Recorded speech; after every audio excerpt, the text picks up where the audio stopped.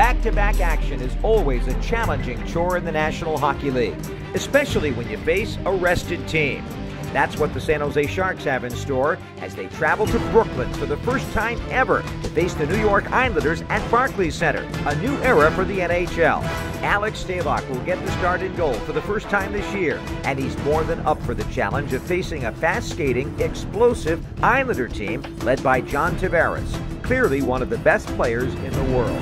Litsky Strive, a low shot was blocked, the rebound is fired home. Tavares has put a top shelf, and it's 3 0 New York. It's a great early season battle between the Sharks and the Islanders.